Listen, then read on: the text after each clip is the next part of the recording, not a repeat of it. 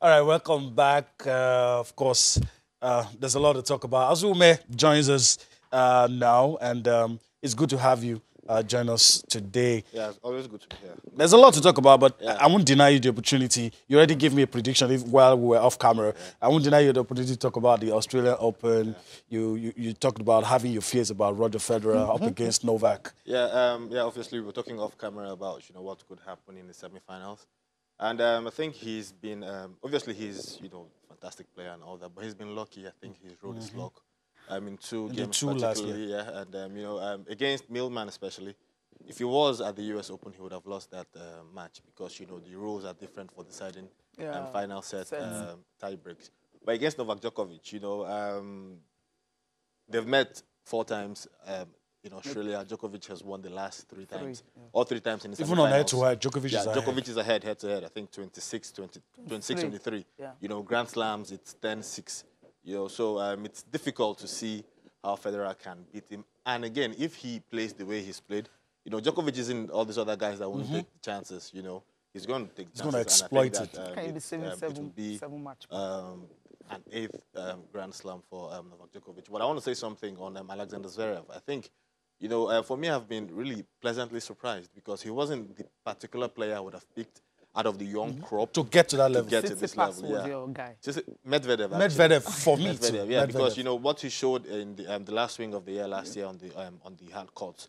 Coming into this tournament, I felt he was going to do Although it. but- Stefanos would have been my second pick. um, Stefanos, yes, obviously won the season-ending Masters, you know, and you know he was really very, very good. He was he had the kind of season Zverev had in Yeah, 2018. That's what, 2018. and then Zverev now struggled the next year. And I think we're seeing something similar with his past. But for Zverev, coming back after losing scandalously in the first set against Wawrinka and getting the business done, his first semi-final here, is Tough fantastic. mentality. fantastic. all right, all right. So that's with- it.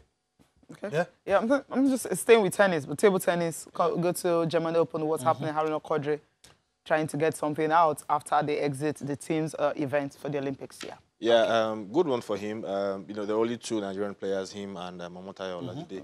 Um, wasn't too good for um, Omotayo, um, African um, Games champion, didn't do the business, lost in the preliminaries. Aruna Quadri, you know, he's you know building up to um, the singles event in Tunisia coming up um, next month, where they will be competing for a place um, in the singles event at, um, in Tokyo. He's doing well. The preliminaries, I think he has one more round to go. Then he gets drawn in the if he um, beats his next opponent, he gets into the main draw, and then obviously Won this uh, the last game we're talking about in 26 minutes? in minutes. 26. In yeah, just shy of 20, I think about 25, 50 something um, seconds. You know, he didn't actually spend time on on, on the tables. You know, he smashed was, his he way. was, He was, he was really an express express. Do victory we know anything about the next guy, Benedek Olah from Finland? Um, no, we no. need to start taking this guy seriously, you know? Yeah, um, obviously you need to start taking this guy seriously. But um, Quadri is ranked 18 in the world. Yeah. Um, he didn't get the sittings because the sittings were just reserved for the first 16 yeah. people. So the guys that he's meeting are not actually all that high level. ranked yeah, on his level. So you expected uh, you expect that he'll win.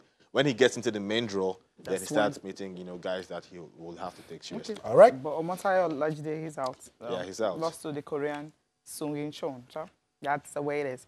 Okay, let's leave that and talk about uh, wrestling, right? Wrestling, everyone's talking about preparations for the Olympic Games, but then you have the African Wrestling Championships taking, pla- taking place in Algeria. It's going to start on the 3rd of February and end on the 9th. Of course, Nigerian wrestlers uh, announced uh, 15 athletes that will be flying the country's flag at the championships. And the list, of course, you have the usual suspects, all the big names Yeah. from Blessing Oborodudu uh, in the 68 kg category, Odunayo Adekuoroye in the 57 category, headline the list.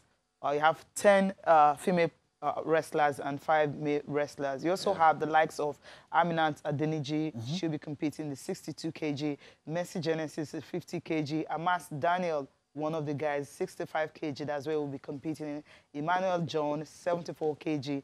Soso Tamarau, 97 kg. The world champion in beach wrestling, uh, Blessing Onyebuchi, she will be competing in the 76 kg. You also have African champions, the likes of uh, Sunmisola Balogun, you'll be competing in 72 kg, and Bose Samuel, 53 kg. Bisola, she's also part of the squad. Uh, Bisola Makanjuola, she's also there. ABK Wimo Wilson, that's another guy that everyone will be expecting to get a medal when he gets there, 57 kg. And of course, Ekerekeme Agiomor in the 86 kg are also in the squad. They've been preparing camps in uh, Yenagoa and also in Akure.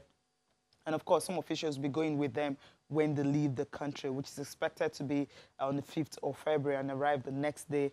And of course, their competition for the women is going to start February 8th. And of course, the men will start the next day. And you know, Nigeria, they actually, the women are defending champions, so everyone will be expecting them to actually retain that and claim a record extending ninth title in a row. Yeah, I think um, it, it, it, it, could be named the Nigerian Wrestling Championship for, for, for, for, the, the dominance. Like every every name you called out, you know, is either a champion, you know, like it's a really really high powered squad. You know, very um, strong. Nine time champion there. Every person there, you know, has championship experience, and you'd expect the women to retain the title. You'd expect the men too to do very very well.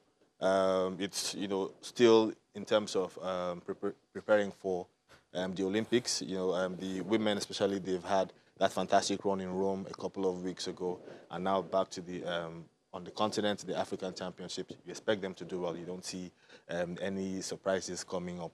Uh, but for the officials, you know, there's a joke we used to make yeah. with the uh, media officer. He's, uh, we used to call him the non-traveling yeah. officer. So um, he's, he's listed for this trip. Now. Oh, okay. Emeka, Emeka Dina. okay. And, uh, it's a good one. Congratulations. Yeah, um, yeah, yeah. He works. He works really, really hard. I think. Um, yeah. Really, right. really, so we're going to get more information coming from there right now. more Not pictures. When he will sit. Uh, okay. uh, all right. Um, Cecilia and Azu, there's a lot to talk about, but it doesn't get bigger than the Manchester United. Before that, can we just talk about what happened in the Carabao Cup okay, last night before okay. today's game? Okay, I mean, today's Kelechi game. Iheanacho, I mean, how do you score your okay? He scored eight goals now in 13 matches. Yeah, eight goals in 13 matches. Guys he scored, um, red scored hot. Four, yeah. four, uh, four goals in the.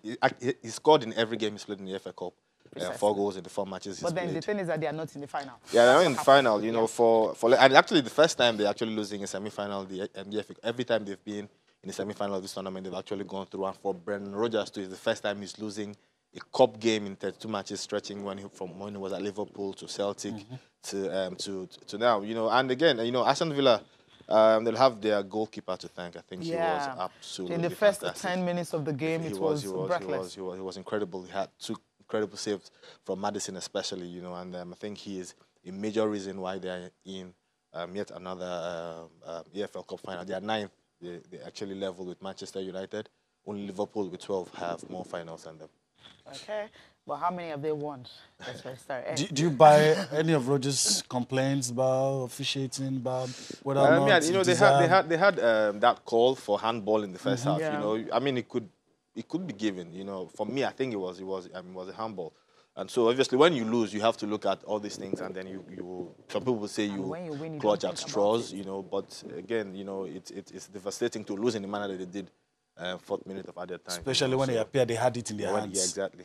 Absolutely. I, I think uh, they just missed their chances because mm -hmm. the first five minutes of the game, yeah. we saw a series of chances and all that. They just couldn't convert. The That's yeah. it. So The goalkeeper was inspired. Sometimes you get this sort of inspirational performances from the goalkeeper. He was really, really, really Aston Villa in the finals, but waiting for them rather is Manchester City. That's what everyone is already saying. Except some miracles. What happened in Melbourne to Roger Federer will happen uh, tonight. If it happens, fine. I think that's the question. But if it doesn't, so it simply means... Uh, is going to be Man City and Aston Villa. Um, yeah, I think yeah. Obviously, from is it possible? From, from, it is possible in sport. In sport, everything is possible. With a depleted squad. In sport, everything is possible. Okay. You know, everything is possible. We've seen people overturn four-goal leads. We've seen people overturn four-one leads. We've seen a match 2-0, 90 minutes, 94 minutes, it's 2-2. You know, so this is sport. It's crazy. Things can happen. You know, United have a very good away record at City. You know, they've actually lost just once in their last four. They've won three times away since 2016. But again, like you said, you know, they the depleted squad, no Rashford, Current no Pogba, Thank you. Scott Come McTominay. I mean, it's very difficult. And a 3-1 deficit. You know, I mean, it's going to be very, very difficult. And for Pep Guardiola, obviously, he needs something to salvage the season. You know, the, and the league is is gone. Um, gone, gone, so he'd be looking at these tournaments. But the Champions League is there. The Tournament, yes, yes, Champions, Champions League, League, is there. The FA Cup. Uh, the FA Cup. The FA Cup is there, but again, this they say um, a bird in hand is worth a billion in the bush. So this is what he has in front of him. So he has I think to prioritize. have to win. Yeah, he has to prioritize. They, have, okay. they, they will right. win. They will win. I they think will it, win. Yeah.